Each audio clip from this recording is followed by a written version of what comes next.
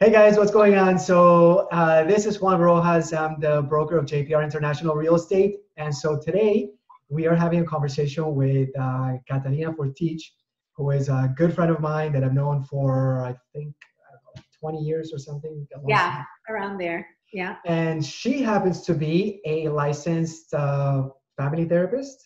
Is that licensed marriage and family therapist? Yeah. Marriage and family therapist. Okay. So the, the reason I, I thought of uh, having conversation with her and was importantly recording it and then passing it on to you guys is because I was uh, talking to my wife as I was telling Kata uh, just a few moments ago, and you know I still like my wife, and so when I so there, there I was talking to her and I go, wow, you know I I you know we haven't killed each other, but I wonder if there's other uh, couples that maybe are struggling, let's say, right, having a difficult time during this whole coronavirus pandemic craziness madness, uh, where now they're forced to be, you know, together, right, at home for extended periods periods of time, 24/7, and with their teenagers and with their little ones, which uh, I happen to have a teenager myself who's 16 and a little one that's four. And how old are your kids, Kata? 16 and 14. Yeah. So 16 I have 16 and 14. Okay. Yeah. Good. Yeah. So anyway, so I figure, you know, who better to to show us and tell us how to survive, how to keep it together uh, from a relationship perspective with our spouses and kids at home uh, now. So anyway, Kata, welcome to our uh, our uh, new conversations. Can you tell us a little bit about yourself, first of all? Sure. So I am a licensed marriage and family therapist in the state of Florida. Um, I went to Nova Southeastern University. I'm a South Florida native, um, as you know, because you've known me 20 years now, right? We have a mutual, my cousin's your friend. Yes. Um, so yeah, and now I'm living in Broward. I have a private practice up here. Um, it's in the Davie, uh, Weston area. Got it. And I've been in private practice for about three, two years, three, three, two. I lose count. Um, but I before that I worked in uh, treatment in drug addiction treatment. So I was doing that in, in residential treatment centers. Um, so my background, I have a strong background in in addiction, but also trauma. Um, and I think that um, all those things play into our family, you know, dynamics and our relationships so much um, that you know they go hand in hand. There's no way to kind of separate if we've had trauma, if we've had life experiences like addiction, there's no way that it doesn't affect our relationships, our marriages, our families. So um, I bring that perspective in, uh, which is a little different than, let's say, if you go to see like a, um, a therapist that doesn't have like a systemic that we call it a systemic. Why? Because a family is a system. A society is a system. A couple is a system. You're a system within yourself. So if i'm not taking into consideration the context of things that are happening i might just label you like oh you're depressed and here's a pill and you're gone right? But if i don't sit in the if i don't realize like hey, let me, I know a little bit about your life, Juan, right? So you've been through some struggles and some adversity. And if you came and you said to me, I'm feeling depressed, I'll be like, tell me about your life. And then you would tell me, like, I've had to overcome all of these things in my own relationships in my own life. And I'll be like, wow, it sounds like what's happening in your life is really influencing how you're feeling. So if I don't, if I don't take the whole system into account, then I'm going to, you know, cut you at your knees, like not really putting into consideration everything that might be influencing your mood, your state, and then you just walk out with a diagnosis and goodbye, and you know you're just depressed. Um, but when you go to therapy, hopefully, ideally, look for a therapist. It's like my little PSA right now. Look for a therapist that um, is not just going to label you and deal with the behaviors that they're going to look at you and your whole life and, and the relationships you have holistically you know you're not just some uh, living in a vacuum in other words. So it's funny that you mentioned that. And um, actually before we get started um, how, how is your family doing? Oh thank you. So they're we're great. Um, so i've been able to transition into full-time online. Okay. and it's actually flourished. Um, i'm seeing more clients. I'm getting more new clients by the day so something about what's happening right now, but I can't say that that's the norm for everybody because there's a lot of therapists that are telling me that their whole caseload fell off. Okay. Um, so so it really is different. For me, it actually picked up, and I have new clients every week, which is something that doesn't always happen because we have a, a pretty healthy caseload. You know, my and, and that depends on the therapist, but somebody might see 20 clients a week and somebody might see 40. Um, but I've had a very healthy fluctuation of, of clients. So I've been busy with that. My husband is working still, and his day has not changed at all. So it's been very interesting to see where my and my my kid's life has changed completely, and his has not been altered at all. Wow. At all. Wow. There's a little resentment there, I will say. so his is fine. He's like going out to work, um, and then I'm dealing with. In, uh, what does he do? Construction uh, management. Okay. Yeah. Okay. So I know construction is like one of those essential businesses. Apparently it is. I am too but I'm able to transition 100% to telehealth, which has actually expanded me because now I'm seeing people. I coach as well, so I'm coaching in Colombia. I have clients in Colombia, awesome. um, and all this happened after the pandemic. Um, I'm seeing people in different parts of Florida, so you know it's expanded definitely. But um, my husband's uh, in construction, going to work every day, coming in, um, sending him to the shower, very stressed out about you know, I had to kind of at some point like accept that he's going and I don't know, I can't, you know, police him every second. Are you wearing your mask? Are you washing your hands? You, I'm trusting that he is and, you know, still sending him to the shower um, when he gets home. But there is a lot of anxiety on my part, especially at the beginning of all of this. Is he bringing home, you know, yes. essentially deadly disease? that I have no, you know, I can't kick him out of his own home. So that's been interesting because as a whole, not everybody's experiencing this the same way. And I'm going to say that to our chat. Nobody's experiencing the pandemic the same way or in the same order or having the same feelings at the same time. So everybody. And, and you know, and that's one of the things as we're talking about, like this whole what we were going to talk about right prior to uh, to to this call, um, that was one of the things that were, the things that you're that you're you know mentioning to me is that it's like in your situation, for instance, you guys are lucky that your husband still has a job, which means that mm-hmm. he's still bringing in money. You still have a job. Uh, maybe the setting of the job is different. Maybe before you were seeing patients in the office, now you're seeing them on like video. Maybe I don't know how you're doing it. Yeah. Um, yeah. And and so financially, I think.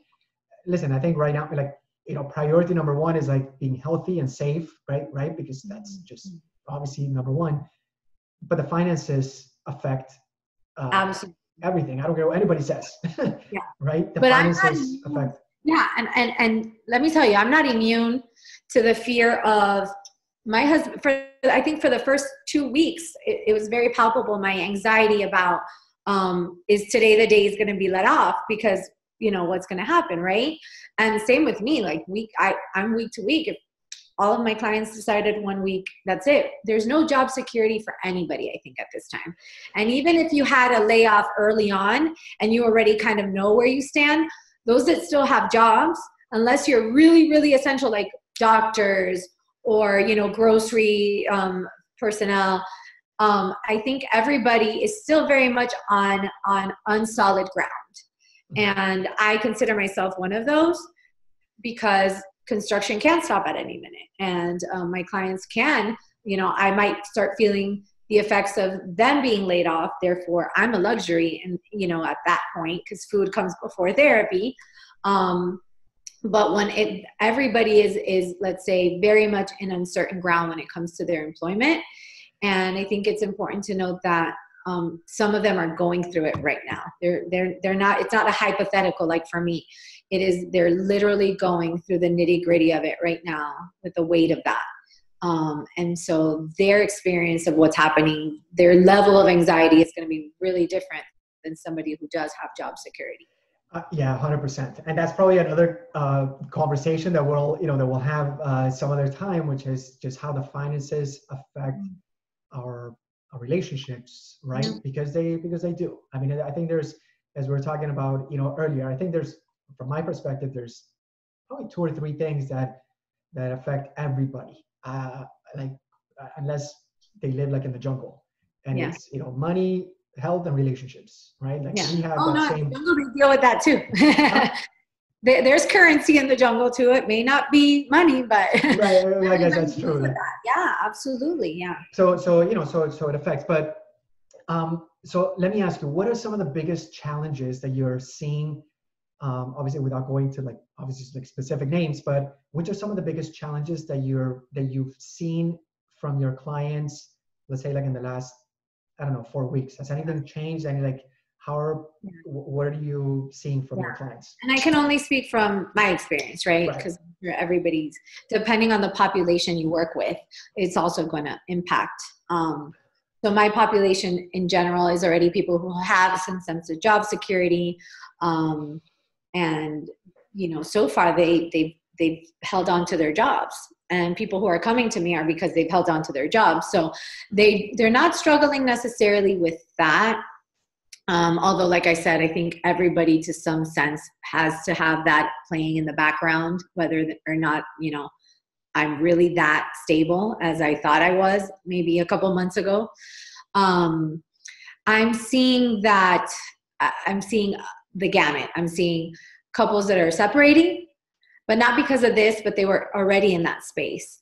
But I think this heightens if you were already grieving that separation and that and, and the fact that your marriage or your relationship was coming to an end, now it's heightened. Now you're feeling that much more because what you would do before like maybe distract yourself with going out with friends or you know finding something else to do or going you know out for drinks with a friend or whatever would help you distract it from your heartache you can't do so you really are being asked to sit in the pain of that and that's just like really hard. Um, so obviously, thankfully, they're still doing therapy, and I'm still, you know, advocating for them to take care of themselves as best as they can. Um, one of the, I think the things that I tell everybody, whether you're married or you have kids or you don't have kids or you know whatever your situation might be, I think that the, the statement that most of us therapists are, are are really advocating for is do not judge your circumstance or your situation with anybody else's.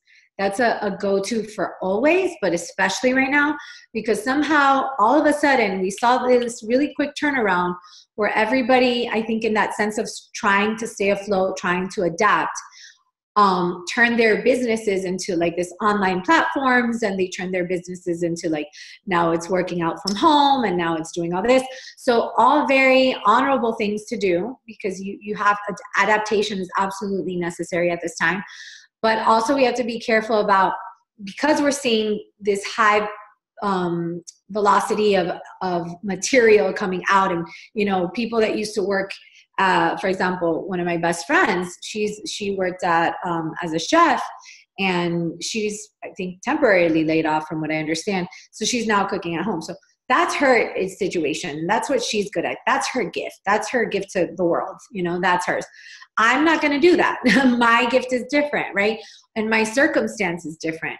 So if we're comparing we're really going to get stuck on thinking oh well my family isn't having uh, you know a camping session outside because i have two teens that don't want to talk to me right? So my my kids are not five and four and three who think are like yeah we're not a camping whoa so you know if i get caught up on like you know i'm not doing this thing right i'm not quarantined right i'm not in a pandemic in the right way you're really beating yourself up for something um, that you shouldn't. And you and you're probably already struggling your day-to-day life with some sense of perfectionism and shaming yourself and being judged and comparing. So this is going to heighten that. So that's information for you. So should uh should people like disconnect their instagram and not look at instagram? Because, you know I mean, everybody like you know everybody on instagram is like you know they're so much better than me. They have a six pack they've got like the rolls royce yeah. you know i just yeah. saw somebody the other day they were you know, tanning in their backyard in the middle of the pandemic. I mean, what the I hell? Know. I live in a, you know, in a 200 square foot studio in an like in a basement, right? Yeah, yeah. Even just talking like, well, the, the cousin we that my she's my cousin, she's my best friend, and she was a really good friend of yours. She's in an apartment, right? And I sometimes even like I'm tanning in my backyard Saturdays and Sundays. I don't have time for it Monday to Friday because I'm working, but I'm tanning in my backyard, and I really do think about her, and I'm like she she's she i would love to be able to share this with her but i can't you know she's in her circumstance and she's making the best of her circumstance you know? And that's and it's probably because she's really good at not comparing. I, I love that about her by the way. She's amazing. It's awesome. um, she's she's really content with just where she's at. She's not comparing. She's happy for me. And even if she feels if we, we're not talking about that. I'm using i'm just using you as an example, Lisa. We should send this to her. Um, did feel a sense of undercurrent of envy. It's totally human.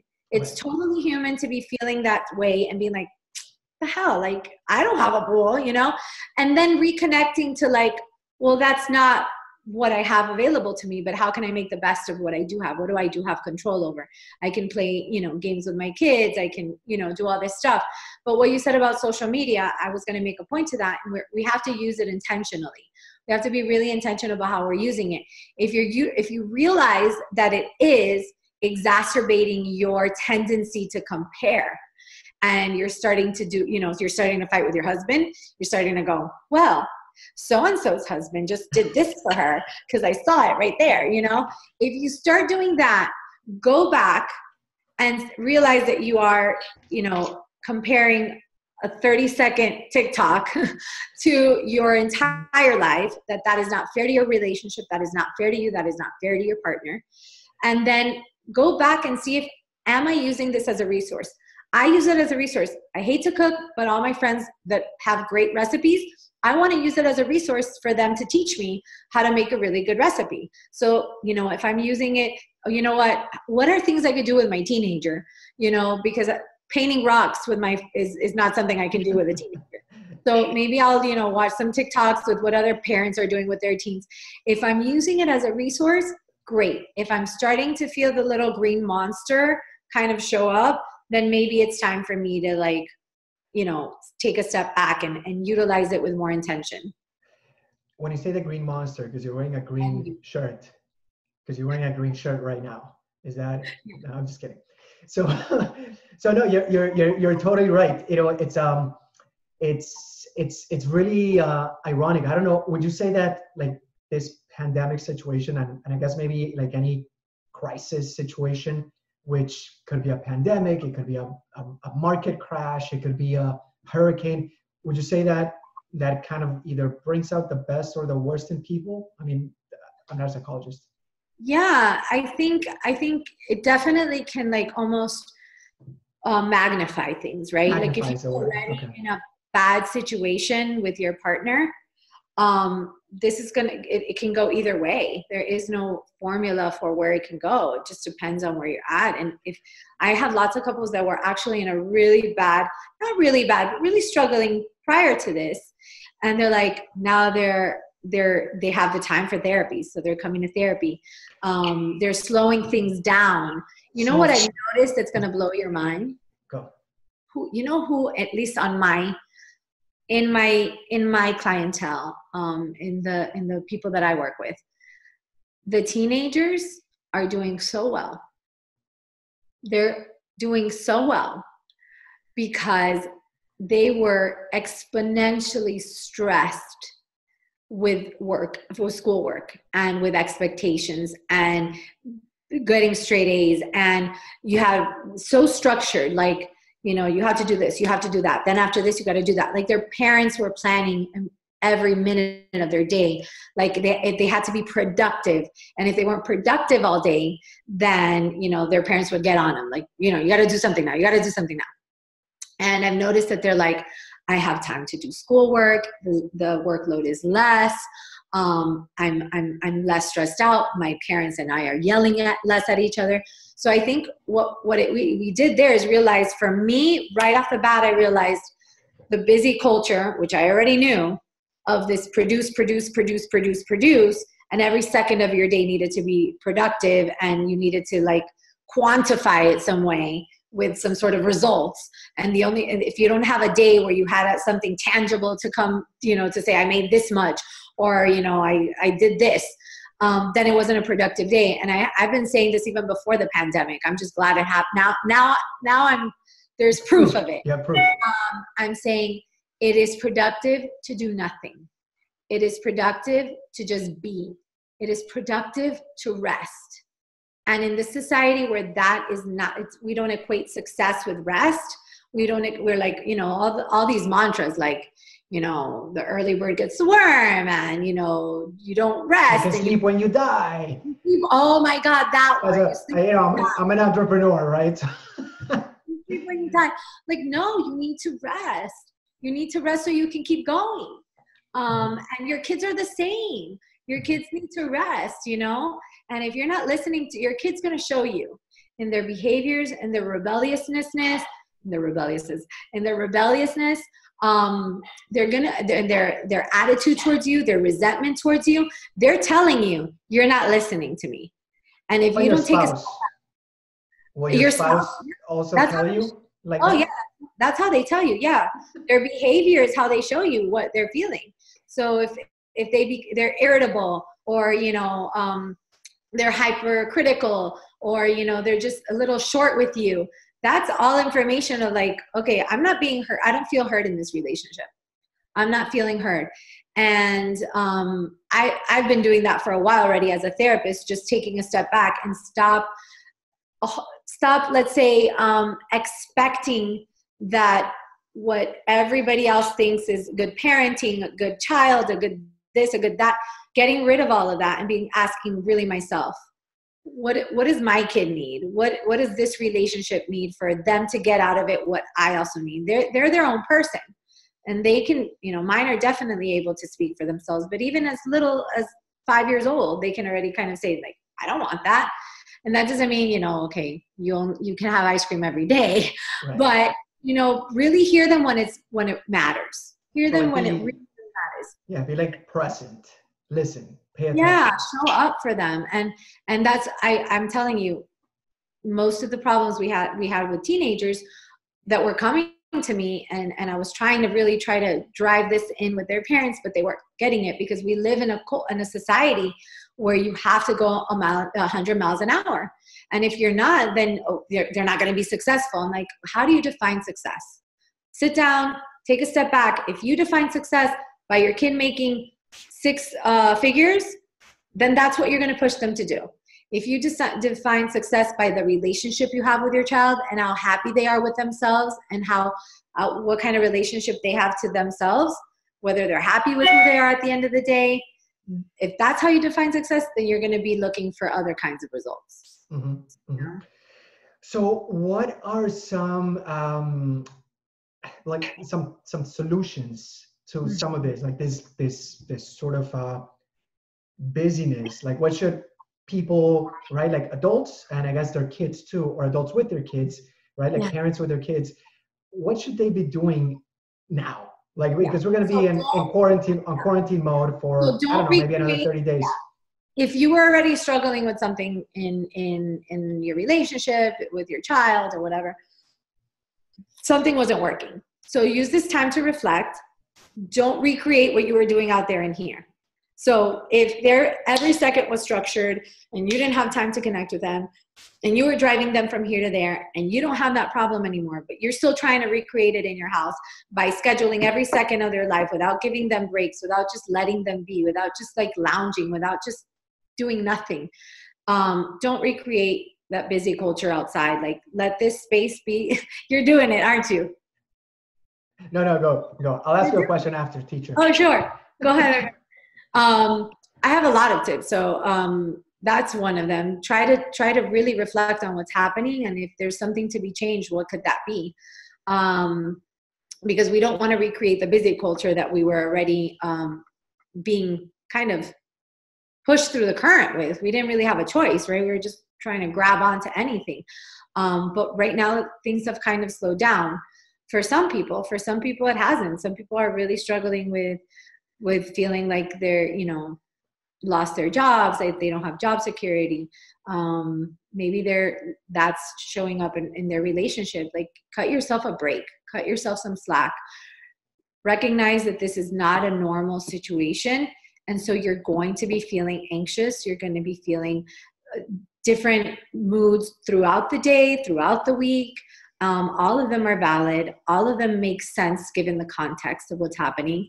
So just even cutting yourself some slack and cutting your kids and everybody around you some slack on, okay, this is this is real i'm there's there's a real reason why i feel anxious right now right there's a real real reason so so let me ask you a question so let's say i mean if you know if there's i, I think you know we could probably break this whole thing down into like maybe two groups of people right like mm. Let's say on the one hand you have people and let's just to you know keep it simple like husband and wife and two kids and they have i don't know six months worth of savings right like plenty of cash reserves like money is not a problem, right? Maybe they're temporarily laid off, right? Or just on a break. Like again, I'm thinking like, you know, some people that I know, like let's say a dentist, right? Mm-hmm. Uh, he's not necessarily like out of business, like forever. He's just kind of on a break, right? Mm-hmm. So maybe him and his wife and his kids are on a staycation, right? Yeah. At home. Yeah. But what how what would you say to somebody that's maybe husband and wife and two kids living in a condo, right?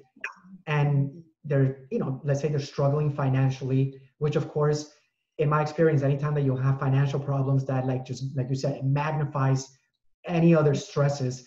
Like what type of advice would you give to them? Like if you could, I know it's not it's not easy, right? You can't solve it like in a 30 second soundbite, but yeah. how would you tell them to like approach that situation sort of like methodically so that you know 30 60 days from now they come out maybe they're not going to be in a perfect financial situation but maybe there's an opportunity for them to come out in a better relationship situation.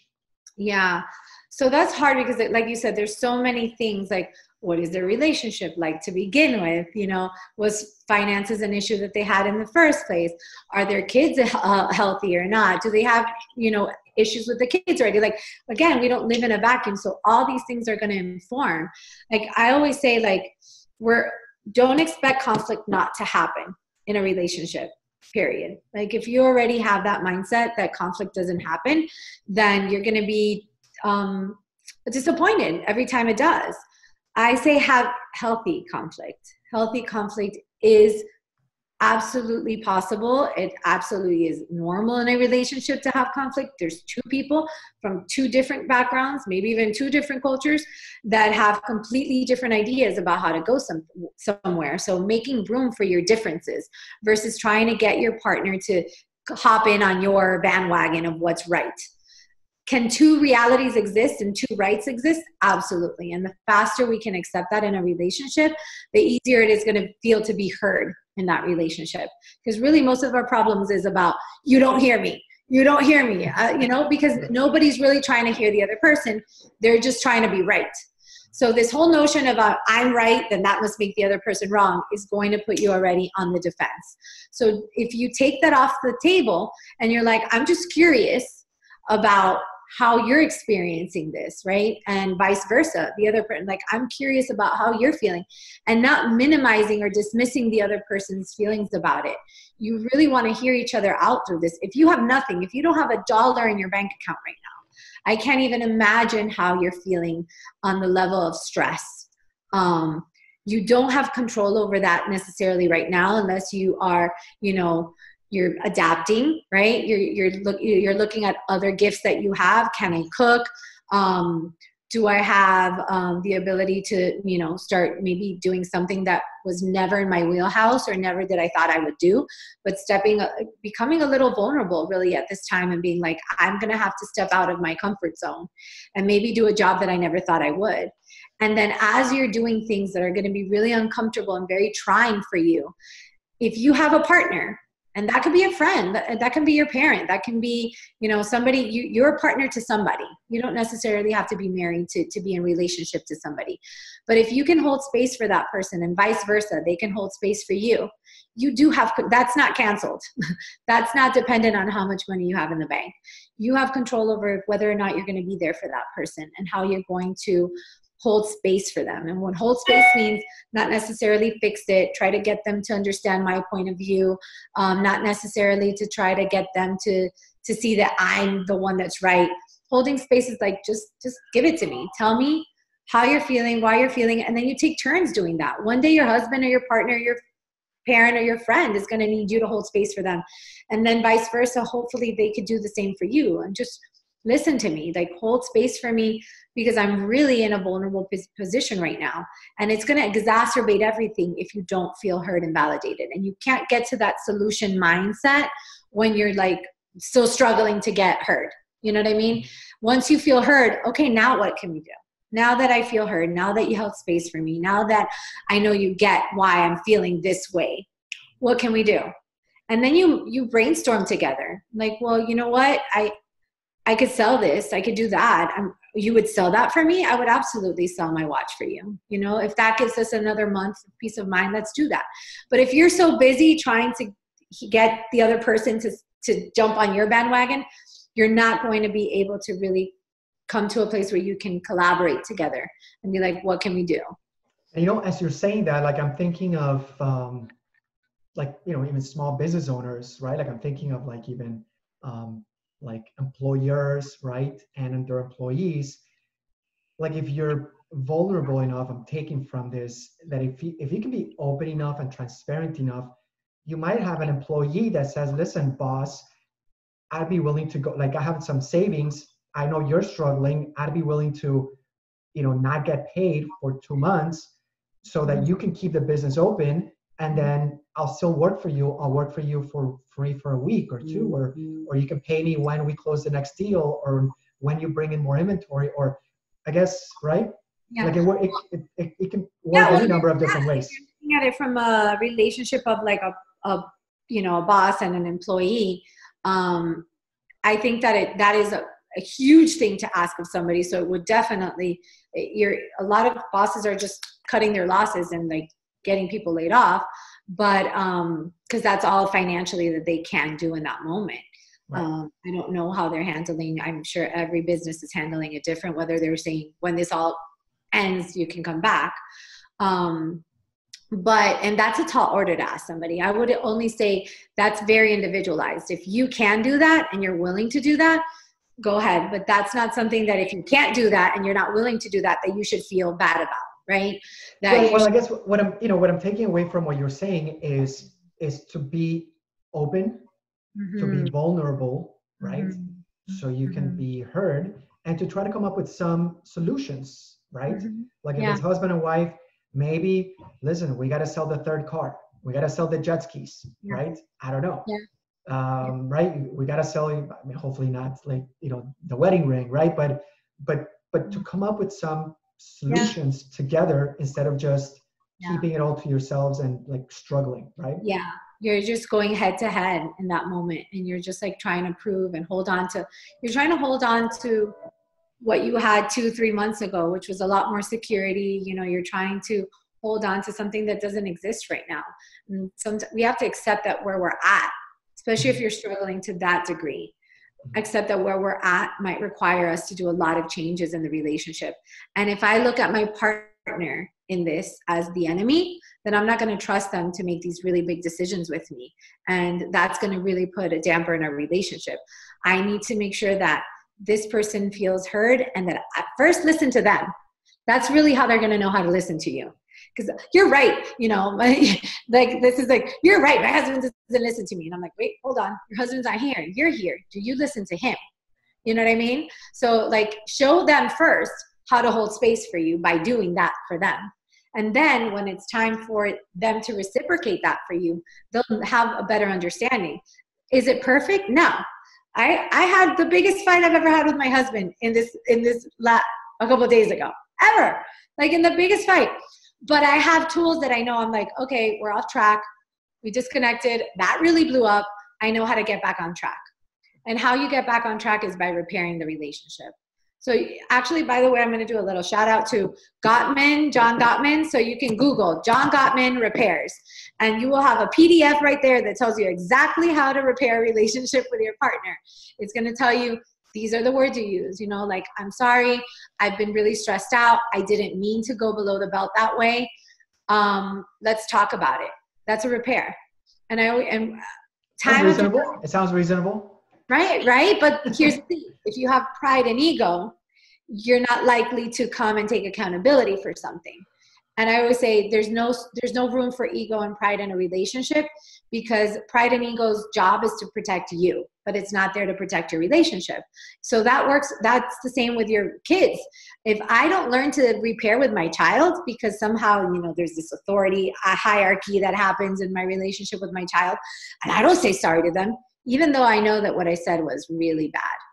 I'm going to justify it i'm going to rationalize it because he was rude to me first and blah blah blah but if you know that you did something wrong, your child is not going to learn how to apologize or repair relationships unless you teach them how through modeling it. Mm-hmm. So if you did mess up with your child, if you did a mistake, um, just repair. That is the, that's what builds the relationship. That's what strengths the, strengthens the relationship. But sometimes we get caught up in, oh, but that's going to make me look weak. And being vulnerable is not weakness. So being vulnerable, this is a very vulnerable time. If your partner lost their job, if they're scared, if you're scared, if everybody's scared, you're all vulnerable. There's no sense in hiding that behind some sort of mask of machismo or, you know, anger or, you know, indifference. Um, no, it's okay to say, I'm scared shitless right now. And hopefully, if your partner's good enough, I always say good enough because I don't believe in perfect. So if your partner's good enough, they'll be able to be like, oh, hold on, my partner's struggling here with something. And even though I am too, right now in this moment, I'm going to hold space for them. And when it's time for me to, to be that, to, to let out whatever I'm going through, I need people too. So maybe it's in that moment my partner can't hold space for me, but maybe I have a really good friend or maybe I have a, a, mom or a dad that can hold space for me right now. So we're all we're all finding what we need in this moment, right? Like I'm being that to my partner. I'm looking for that in my other relationships. I might come back to my partner when I feel that they're in a better solid place for them to hold space for me. We need to look, we need to hold space for each other. Really, right now, that's that's the takeaway. So let me ask you because I, you know, again, we could probably talk about this for for, oh, for yeah. a long, long time. Sorry, let me connect my laptop real quick but we could probably talk about this for forever and a long time. And maybe we'll do um, i don't know maybe a little like live webinar or something where people can can ask questions so you can answer oh and, sure. and yeah can, that's fun. oh can, yeah they'll, and they have questions. Everybody has questions like my wife my son my teenager me. Yeah. so um, it, are there any i don't know like one two three books or authors or resources off the top of your head that you think like during this time you might say hey guys if you're married you might want to read this book together with your spouse yeah. take advantage right now that you have some downtime.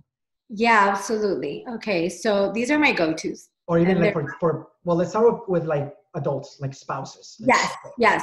For partners and your relationships um so just for the day-to-day stuff i think this this actually this book for right now when you're in quarantine with your partner and you just need to like have healthier ways of communicating with each other and have healthier ways to kind of relate to each other um, john gottman has a lot of books. So how do you spell his last name? G-o-t-t-m-a-n so okay. john gottman. So any of his books are really going to get to the the nitty gritty, the meat and potatoes of how do you don't here's what to do and here's what not to do. It's very black and white. Um, but it was very helpful in my relationship. So so helpful just to have that. And i'm like oh this is what not to do then i won't do it.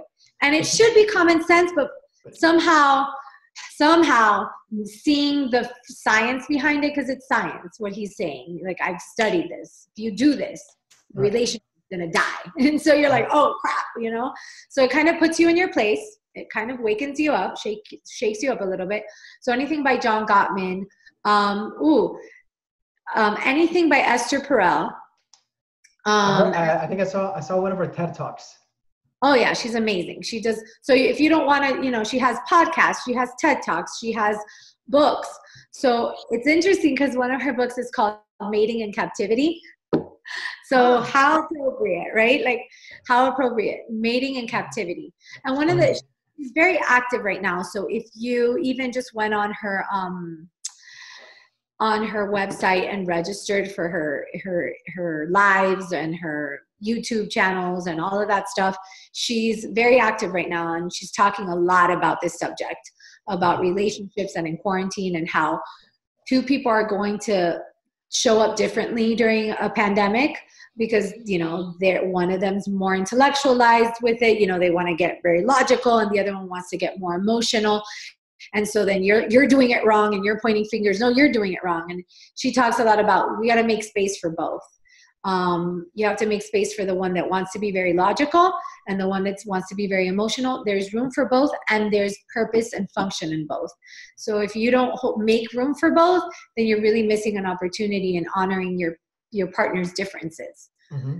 so she talks a lot about that so, so anything by them too so john gottman and esther perel yes how, yes. how do you spell perel again p-e-r-e-l okay okay so i wrote it down correctly all right, and what about for teenagers? Oh, for kids, by the way, I have a really good one. So if you want to help um, your kid with anxiety, and they may have had anxiety already, or maybe not. Maybe this is the first time they're showing anxiety at all.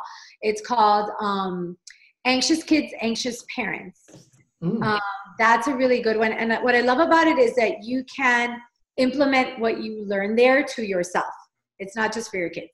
Mm-hmm. Anxiety is is it may show up differently for people but the underlying way that it that the functioning of it is the same for every human being mm-hmm. so even though the book is written for kids it is very much speaking to the parent too on how to deal with it okay um, any last minute thoughts? Anything like what is the last thing that you might want to share with people so they so they uh, survive this pandemic with their relationships hopefully better yeah. if not intact instead of you know ending up you know this pandemic situation you know broken up with their kids hating them with like in just total chaos right?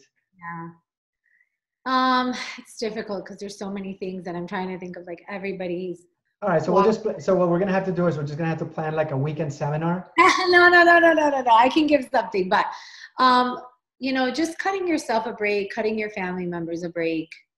Um, you know, if if you're if you are already feeling a sense of like I'm failing at this, I'm not doing it right, just take a step back and remember nobody's getting an award for this. Nobody's gonna, you know, who quarantined on, the best. awards? No, they're not giving awards. just take a step back and just like it's more important right now to hear each other out and hold space for each other than it is to keep things going how they were before. And, you know, actually, there's an argument behind do we want it to continue to go the way that it was before?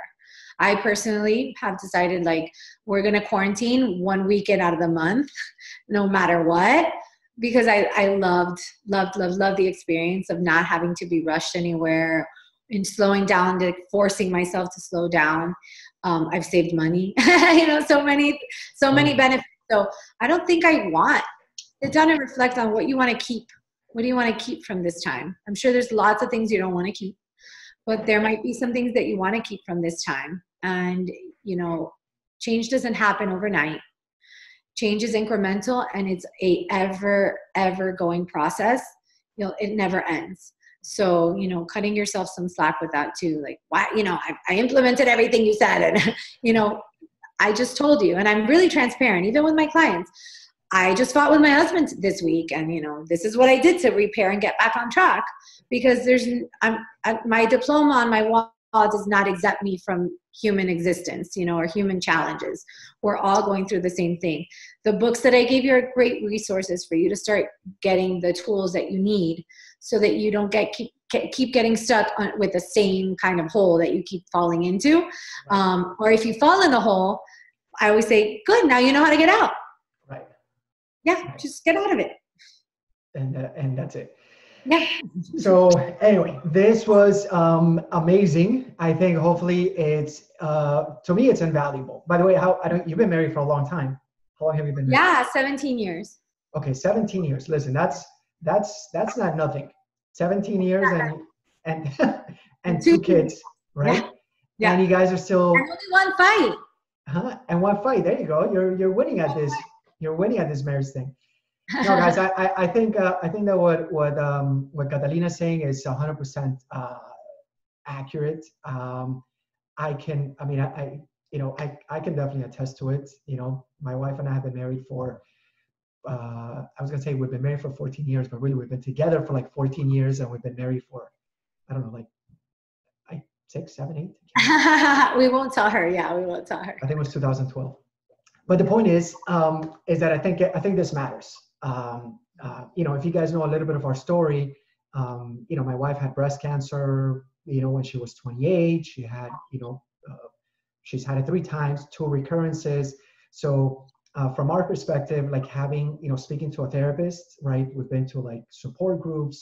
Like when she got cancer, she went to a support group for, you know, for those, um, uh, you know, for for patients. I went to a support group for caregivers, and um, and I've been speaking to a, a coach therapist for like 16 years, and so uh, to me, it's it's hugely invaluable. And I think it's sometimes harder for men, maybe, um, you know, to just be vulnerable. But I think the mm-hmm. the I think the if you have somebody that you can talk to, um, it just makes that vulnerability so much shorter, right? Instead of dragging it out, like you're mm-hmm. in, you're in, and you're out, and then you're you can move on with your life, right? Yeah. Um, yeah. So the discomfort of that, yeah. And you'd be surprised. A lot more men are reaching out, and interesting enough, the last two couples that I have scheduled with new clients, the men have been the ones setting up the sessions.